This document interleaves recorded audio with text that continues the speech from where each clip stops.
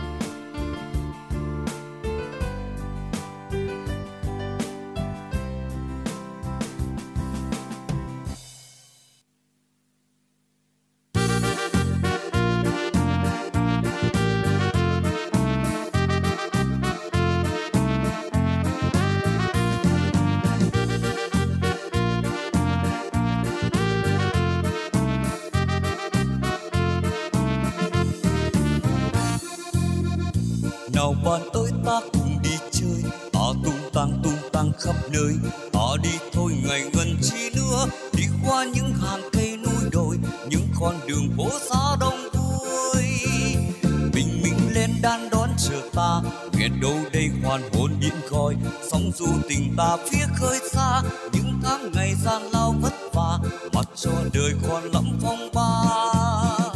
Này bạn ơi ta hãy phương tinh sống cho ta sống vì mọi người. Nào bạn ơi ta hãy vui lên, cầm tay nhau đến những miền xa. Núi rừng hoan biển sông bao la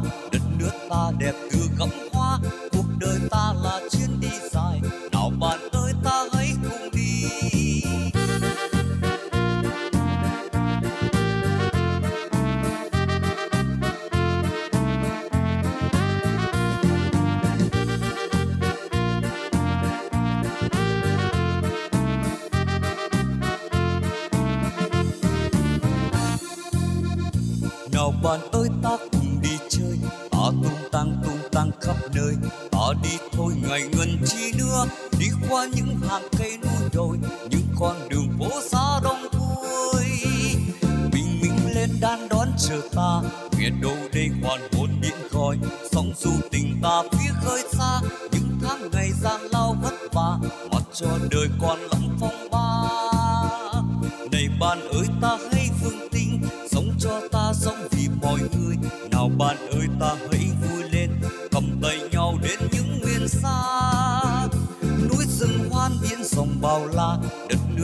đẹp từ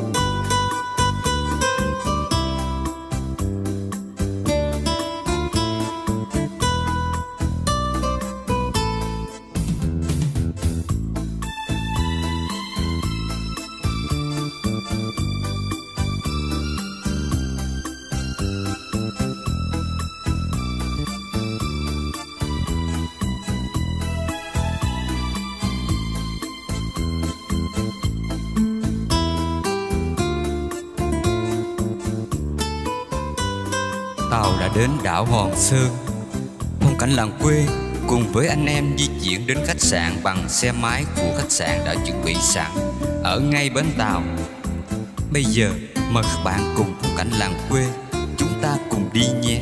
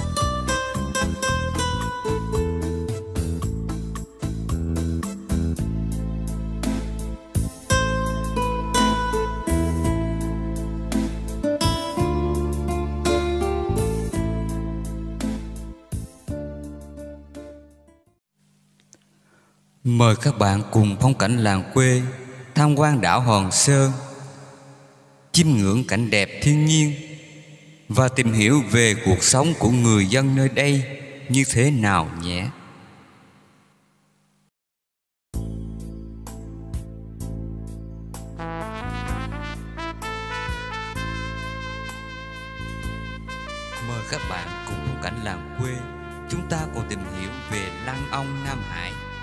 Hòn Sơn một tín ngưỡng thần nghề nghiệp của ngư dân làm nghề đánh bắt.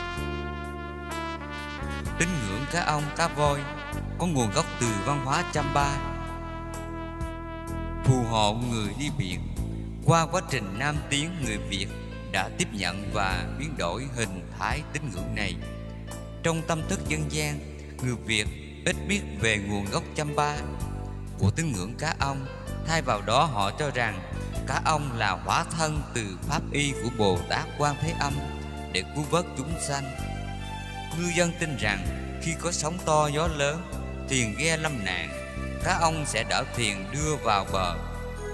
Giữa thế kỷ 19, công trình khảo cứu Thối thực ghi văn ghi chép về cá ông như sau Người thuyền gặp phong ba mà đắm nó thường đội trên lưng đưa vào gần bờ Vẫy đuôi bỏ lên. Người miệt biển rất kính Triều đình nhà Nguyễn cũng từng ban rất nhiều sắc phong cho cá ông Với tước hiệu là Nam Hải Cự Tộc Ngọc Lân Thượng Đẳng Thần. Cơ sở tín ngưỡng cá ông trên hòn Sơn Rái là đình thần Nam Hải hay còn gọi là Lăng Ông Nam Hải, tọa lạc tại bãi giếng. Đình có diện tích không lớn, kết cấu đơn giản, ở trung tâm là bàn thờ Nam Hải Đại tướng quân, bên cạnh bảo quản một số di cốt của cá voi. Song việc thờ cúng ở đây không vì thế mà sơ sài. Hàng năm lễ hội Nghinh Ông diễn ra vào ngày 15 và 16 tháng 10 âm lịch là nét đẹp văn hóa đặc trưng của hòn Sơn Rái đồng thời là lễ hội Nghinh Ông lớn nhất tỉnh Kiên Giang. Từ ngày 14, hàng trăm tàu thuyền đã kéo về neo đậu phía trước lăng ông, tạo nên không khí nhộn nhịp như ngày Tết. Nghi thức quan trọng nhất trong những ngày lễ hội Nghinh Ông là đoàn rước cá ông từ biển về với ý nghĩa mời cả ông về đình để ngư dân cúng tế bày tỏ lòng biết ơn. Trong lễ hội này còn có các nghi thức cúng tế tiền hiền, hậu hiền, thể hiện lòng tri ân đến những người đã có công khai phá và giữ gìn hải đảo. Ngoài ra trước đình thần Nam Hải còn có một ngôi miếu nhỏ nằm sát bờ biển là miếu Hà Bá. Đây cũng là một dạng tín ngưỡng thần nghề nghiệp. Nhưng nếu tín ngưỡng cá ông có nguồn gốc từ văn hóa chăm ba thì tín ngưỡng Hà Bá lại có nguồn gốc từ văn hóa Trung Hoa. Hà Bá được dân gian quan niệm là vị thần cai quản một khu vực sông nước, nên có câu đất có thổ công, sông có Hà Bá. Thường được thờ cúng bởi các hộ gia đình có nghề nghiệp gắn liền với sông nước, khác với các vị phúc thần bảo hộ. Trong tâm thức dân gian, xem Hà Bá là vị thần có tính chất thiện ác không rõ ràng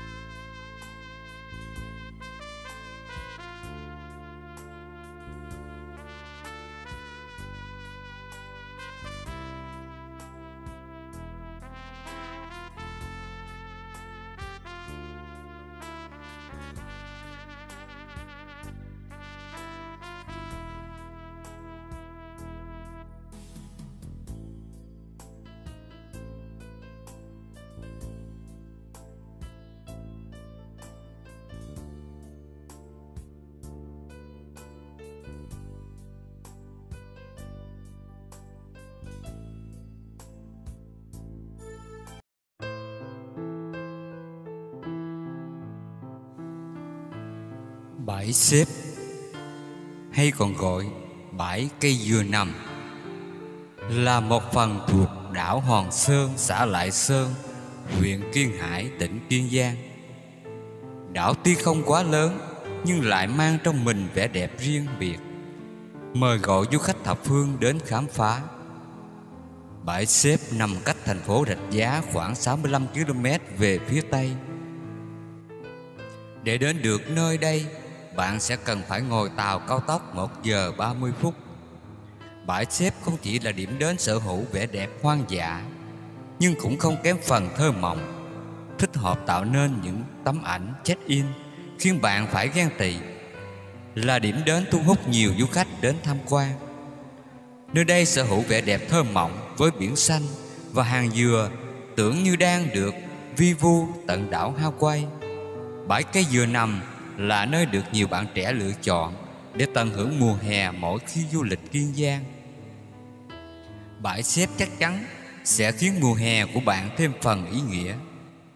Trước đây, vì vị trí xa xôi nên đảo không có điện dẫn đến một thời gian dài đảo không thể phát triển.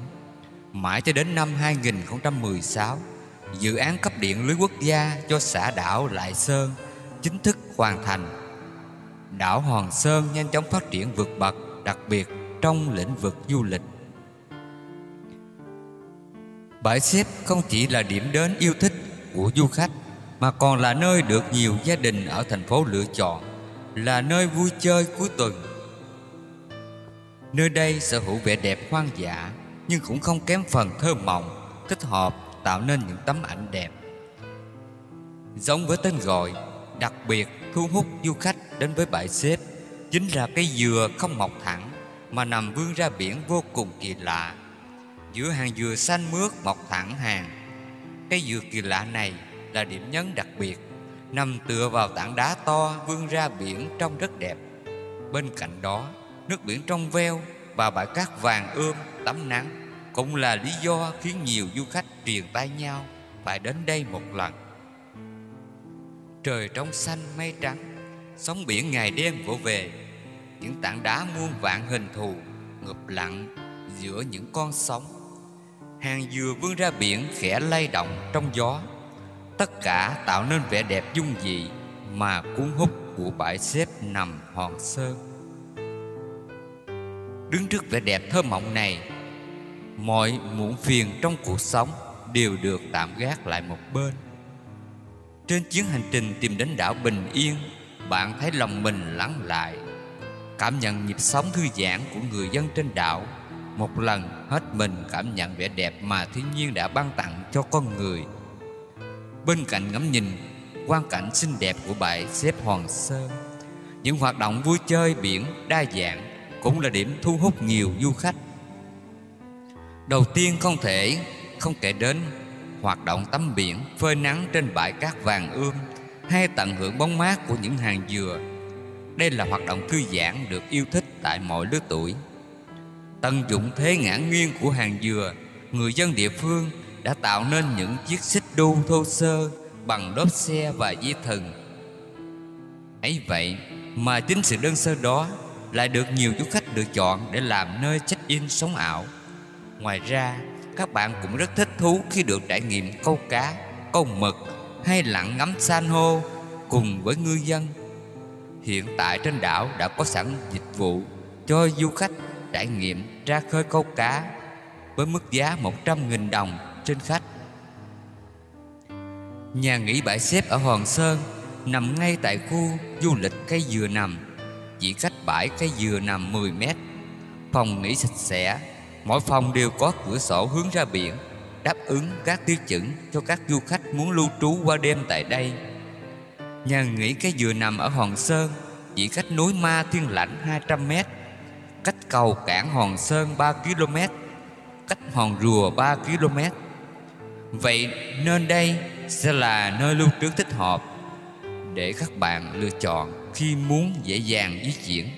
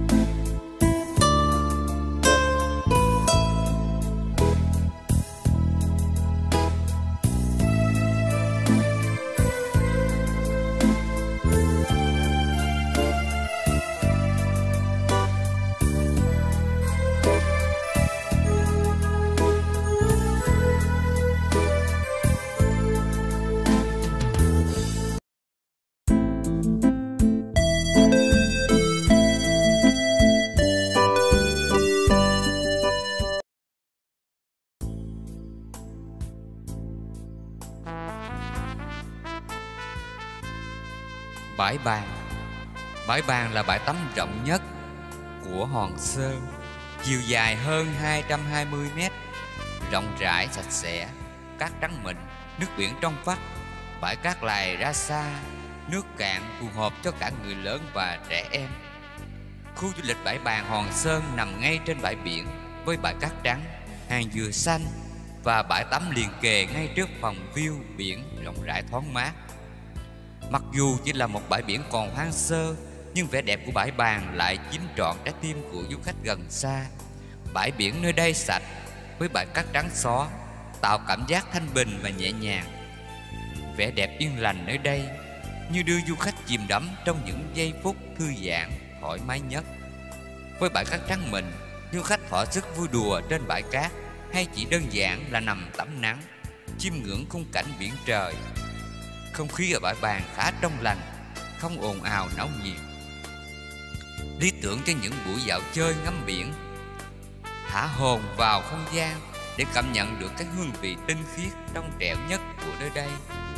Bãi bàng được đánh giá có vẻ đẹp tựa như hồ cốc thứ hai ở nước ta, Với khung cảnh hoang sơ Nhưng không kém phần quyến rũ, hứa hẹn, Mang đến cho bạn những điều thú vị bạn chỉ cần chuẩn bị một bộ trang phục thật đẹp cùng máy ảnh để thỏa thích check-in trên bãi biển. Ngoài ra, bãi bàng còn là địa điểm lý tưởng để ngắm bình minh và hoàng hôn nổi tiếng tại Hòn Sơn. Bạn có thể thức dậy vào sáng sớm, ngắm bình minh để thấy được vẻ đẹp lãng mạn tại vùng đất này. Bãi bàng mang vẻ hoang sơ của một vùng biển đẹp. Bãi biển nơi đây sạch sẽ, cát trắng, trải dài nhưng vẫn khoác lên mình sự tĩnh lặng, thanh bình, nhẹ nhàng, đi vào trái tim mọi người khi đặt chân tới bãi bàn hoang sơ hữu tình. Vẻ đẹp yên lành, mênh mang sẽ làm cho các bạn chìm đắm trong tâm trạng sảng khoái và thoải mái nhất mà không muốn thoát ra.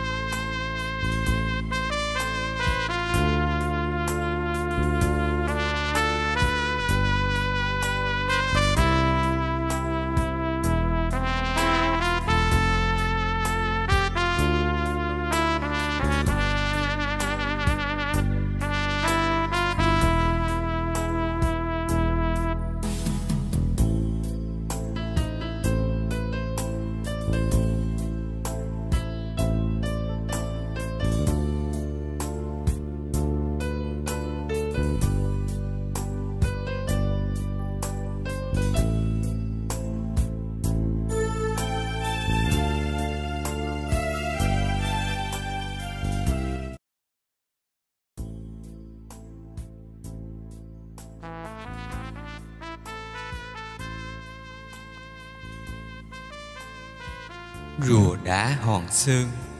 Quang cảnh thiên nhiên tươi đẹp Còn hoang sơ của đảo Hòn Sơn, Kiên Giang. Hòn Sơn, một viên ngọc quý của tỉnh Kiên Giang Là điểm đến mà các bạn không thể bỏ qua. Nơi đây, với vẻ đẹp hoang sơ và bình yên Mở ra một thế giới tuyệt vời Cho những ai muốn trải nghiệm sự kết hợp hài hòa giữa thiên nhiên và văn hóa.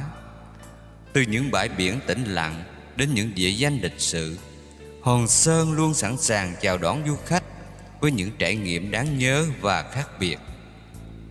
Rùa đá khổng lồ là điểm chụp ảnh ưa thích của mọi người.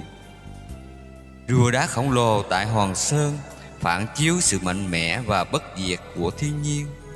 Đây vốn là một tảng đá ven biển được sơn vẽ thành hình chú rùa màu vàng. Trên đường ra bãi Bắc thu hút sự chú ý đặc biệt của du khách. Nhiều khách du lịch thích chụp ảnh với chú rùa độc đáo nhiều màu sắc này.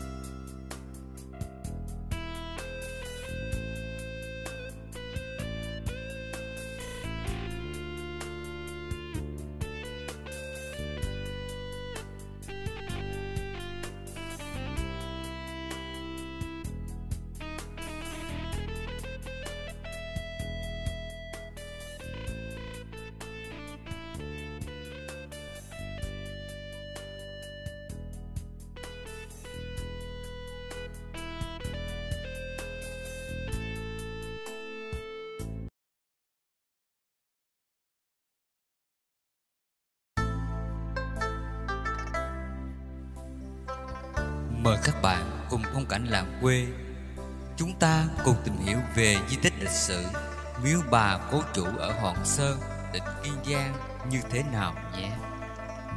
Hòn Sơn hay còn gọi là Hòn Sơn Rái Tên chữ là Lại Sơn Là xã đảo thuộc huyện Kiên Hải, tỉnh Kiên Giang. Đây là hòn đảo được cư dân người Việt cư trú từ lâu đời Mưu sinh bằng việc khai thác và đánh bắt thủy sản. Miếu bà cố chủ tại đây là một trong những minh chứng cho lịch sử Hòn Sơn. Tục truyền, vào năm 1789, trong một lần tránh quân Tây Sơn truy kích, chúa Nguyễn Ánh ghé vào bãi Thiên Tế. Lúc ấy, nước ngọt không có, lương thực cạn kiệt. Trong giấc ngủ chập chờ, ông nằm mơ thấy một vị tướng quân đến la dạy bảo rằng hãy theo ta về hướng này mà thoát nạn. Nhà vua thức giấc Sai đến theo hướng đi của vị tướng quân trong mộng Một lúc lâu Túc đến về bảo rằng Phát hiện một con suối nước ngọt, Đó là suối đá bây giờ, Và có nhiều rải cá, bắt cá dân cho chú Nguyện Đội quân tiếp tục theo hướng đàn rải cá Thì gặp được khu vực bãi nhà, Có nhiều loại cây trái và củ ăn được Cứu sống cánh quân. Sau này khi lên ngôi vua, Nguyễn Ánh phong cho rái cá là Lan Lại Đại Tướng Quân để đền ơn. Nhà vua cho rằng vị tướng quân trong mộng là vị thần ở đây từ đó, hòn được thêm tên chữ là lại sơn. Trên hòn sơn vẫn còn lưu truyền câu chuyện trên, cùng các thắng cảnh như mũi đá bàn bãi thiên tế đỉnh ma thiên lĩnh và các công trình tín ngưỡng như đình lại sơn, miếu ông nam hải, miếu bà cố chủ. Trong đó, việc thờ bà cố chủ được người dân nơi đây tin rằng, Bà vừa hiện thân cho vị thần cai quản vùng đất, Vừa hiện thân cho vị thần biển. Có thể bảo vệ ngư dân mỗi khi họ gặp sóng to, gió lớn, Nguy hiểm tính mạng, trên biển cả mênh mông. Theo người dân trên đảo, Bà cốt chủ là người đầu tiên đến khai phá hòn Sơn Rái. Và được xem như thần cai quản vùng biển đảo Lại Sơn Người dân từ khắp nơi xin cơ lập nghiệp tại đảo rất kính trọng bà với ước nguyện được phù hộ bình an. Truyền thuyết kể rằng bà cố chủ tên tăng thị huệ. Bà quá chồng ở bầy nuôi con, sinh sống trên đảo hòn Rãi. Mẹ con bà nuôi heo rất nhiều nhiều lái buôn từ nhiều nơi gặp ghe vào hòn mua heo của bà. Một hôm, có nhóm cướp biển nam hải ghé vào đánh cướp nhà bà huệ. Chúng cướp của bắt những đứa con của bà đói bỏ lại. Bọn cướp đối bà dở ra biển, Dùng hai tịnh nước mắm cột vào cổ bà Và ném xuống biển. Trong lòng nước. Bà vùng vẫy cho dây trói tuột ra, Rồi bình tĩnh, Cố nhòi lên để đổ nước trong tỉnh ra. Dùng tỉnh làm phao bơi vào bờ. Bọn cướp biển hay tin bà Huệ còn sống Và tiếp tục làm ăn khá giả. Chúng tổ chức một trận đánh cướp thứ hai. Lần này bọn cướp nhốt bà vào một chiếc giỏ bắt heo, Dùng dây ràng nịt miệng giỏ thật chắc, Ra ngoài khơi Bọn cướp quăng bà xuống biển. Bà Tăng Thị Huệ chết hiển linh thành thần. Người dân bãi nhà lập miếu thờ bà. Bà rất hiển linh, Mách nước giúp dân làm ăn phát đạt.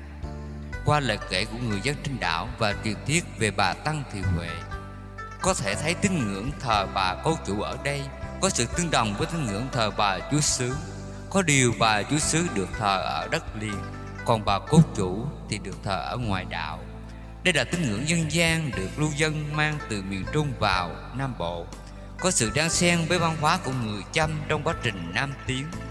Bà Chúa Sứ là bà Chúa Bà chủ, bà mẹ của một xứ sở. Người tạo dựng nên một vùng đất.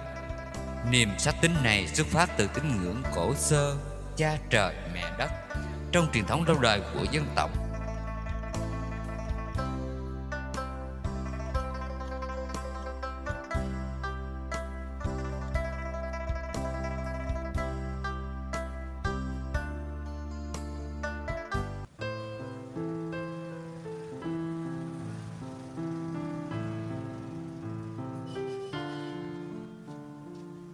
Chợ đêm Hòn Sơn Quang cảnh thật tuyệt vời. Đảo Hòn Sơn Địa chỉ xã Lại Sơn, huyện Kiên Hải, tỉnh Kiên Giang. Sở hữu vị trí Trên vịnh Hà Tiên. Đảo Hòn Sơn chỉ nằm cách thành phố Rạch Giá chừng 65 km về phía Tây.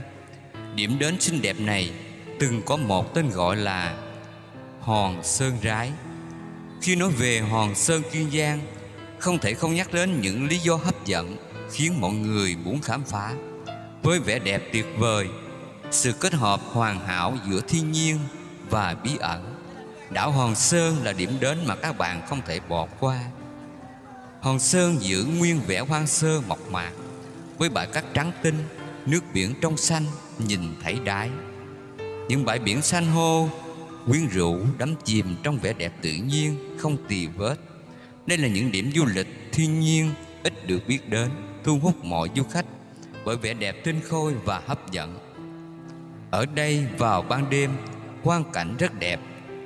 Thời điểm lý tưởng để các bạn tham quan là từ khoảng 19 giờ đến 21 giờ.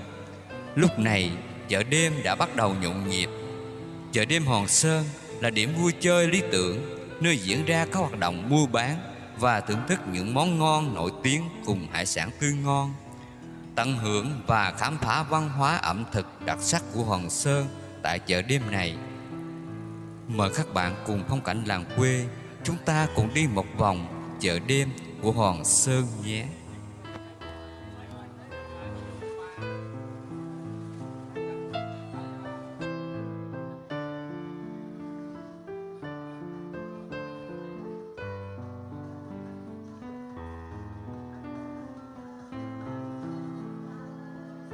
Hòn Sơn hiện lên như một hòn ngọc lấp lánh giữa đại dương bao la. Chưa có dấu vết của sự khai phá. Với không gian yên tĩnh và vẻ đẹp hoang sơ Cuốn hút bậc nhất Đảo Hòn Sơn Kiên Giang là một địa điểm du lịch miền Tây lý tưởng Cho những ai yêu thích dã ngoại, nghỉ dưỡng. Đến với Hòn Sơn các bạn được hòa mình vào thiên nhiên hoang sơ với biển trời, rừng núi, trải lòng của những người xứ biển mến khách và thưởng thức những món ăn dân dã đậm đà chất biển. Hòn Sơn còn có tên gọi khác là Hòn Sơn Rái hay có tên là rái cá là vì trước đây trên đảo có một loài cây tên là cây dầu rái mọc rất nhiều Nhựa cây dùng để quét lên vỏ thuyền để chống nước biển ăn mòn Nhưng cũng có ý kiến khác cho rằng lúc trước quanh đảo có rất nhiều rái cá sinh sống. Năm 1777, khi Nguyễn Ánh chạy trốn quân Tây Sơn đến đây, có một con rái cá khổng lồ dân hải sản lên cho ông, nên ông đặt tên cho hòn đảo là Hòn Sơn Rái. Hòn Sơn có bảy đỉnh núi nhấp nhô và được viền quanh bởi sáu bãi biển đẹp. Đất lành chim đậu từ một hòn đảo vắng hoang sơ đầu thế kỷ 18 đến nay, Hòn Sơn đã có hơn 2.400 hộ gia đình với 8.200 nhân khẩu sinh sống. Người dân chủ yếu sống bằng nghề nuôi trồng, đánh bắt hải sản, đóng tàu, chế biến tôm, cá mực, khô và làm nước mắm.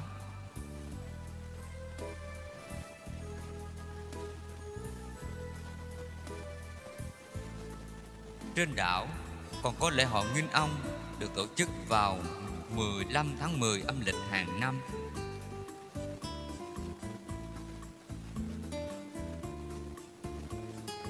Muốn tới Hòn Sơn, trước tiên bạn phải đến thành phố Rạch Giá, tỉnh Kiên Giang. Từ Hà Nội, bạn có thể mua vé máy bay tới Cần Thơ, sau đó bắt xe khách từ Cần Thơ đi Kiên Giang. Và lựa chọn khác là bay từ Hà Nội đến thành phố Hồ Chí Minh, tiếp tục bắt xe khách đến Kiên Giang. Từ thành phố Hồ Chí Minh, bạn có thể đi ô tô cá nhân, xe khách đến Rạch Giá với thời gian khoảng từ 5 đến 6 giờ. Vì các chuyến tàu đi Rạch Giá Hòn Sơn xuất phát vào sáng. Chính vì vậy, bạn nên đi trước một ngày nghỉ qua đêm tại thành phố Rạch Giá để sáng tới bến tàu cho kịp giờ. Còn đi xe khách thì đi từ đêm hôm trước đến bến xe Rạch Giá vào khoảng 6 giờ sáng ngày hôm sau. Từ Rạch Giá có hai phương tiện chính để đi tới đảo Hòn Sơn, đó là tàu cao tốc và tàu khách. Bạn có thể dựa vào thời gian du lịch và dựa vào sở thích của mình mà lựa chọn phương tiện di chuyển sao cho phù hợp nhất. Thời gian di chuyển là 1 tiếng 30 phút với phương tiện này thì bạn sẽ tiết kiệm được tối đa thời gian di chuyển bằng tàu cao tốc. Tàu thường neo đậu ở cảng số 2 và số 3 ở bến Rạch Giá. Nếu bạn đi xe máy để tham quan đảo và chờ để chở nhiều đồ đạc hàng hóa thì tàu khách sẽ là lựa chọn phù hợp nhất. Thời gian di chuyển khá lâu, khoảng 3 tiếng 30 phút. Nhưng giá vé rẻ hơn tàu cao tốc. Các tàu khách thường đậu ở cảng số 2 tại bến. Hai hãng tàu chính là Thanh Tú và Đức Trung Đều khởi hành từ bến Đạch Giá, Hòn Sơn từ lúc 8 giờ 30 Và quay trở lại lúc 10 giờ.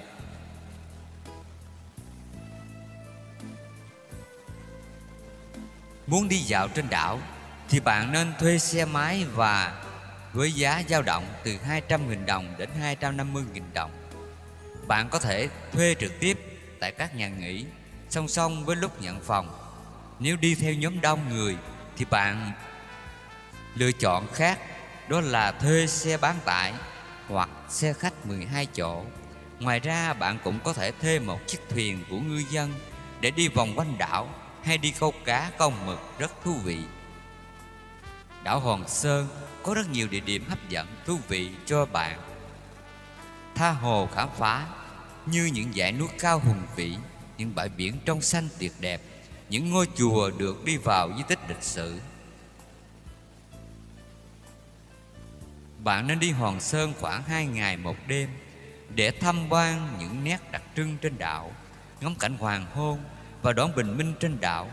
Khoảnh khắc đó Ngồi trên một mỏm đá lớn, Hướng mắt nhìn về phía biển. Bạn sẽ cảm thấy mình thật nhỏ bé giữa biển cả bao la.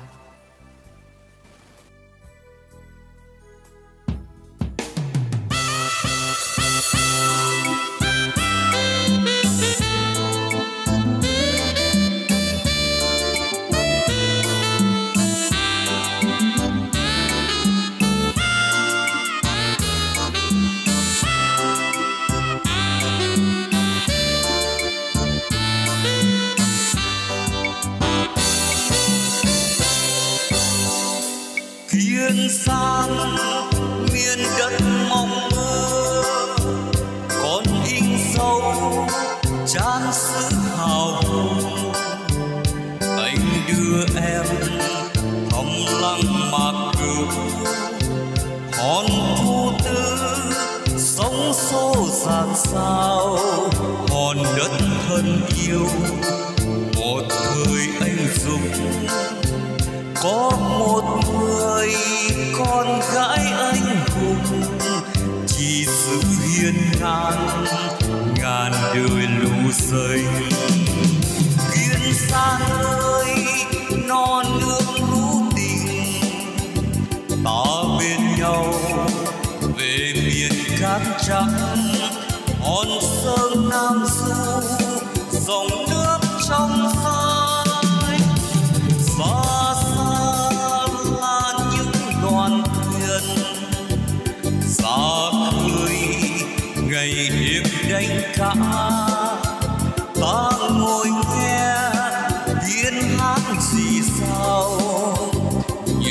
Cánh buồm theo gió xa khơi. Đất yên lành với bao con người chung tay xây đắp cho kiêng sang luôn mãi màu xanh, dù nơi đâu trong tôi vẫn nhớ. Kiêng san nơi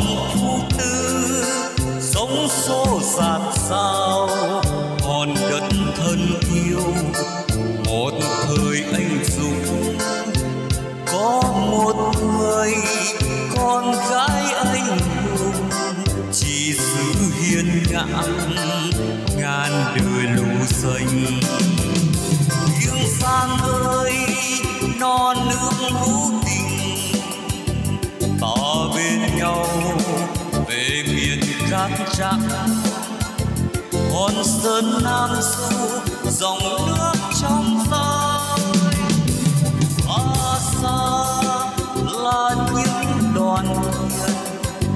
Xa khơi ngày đêm đánh cá. Ta ngồi nghe tiếng hát gì sao những cánh buồm theo gió xa khơi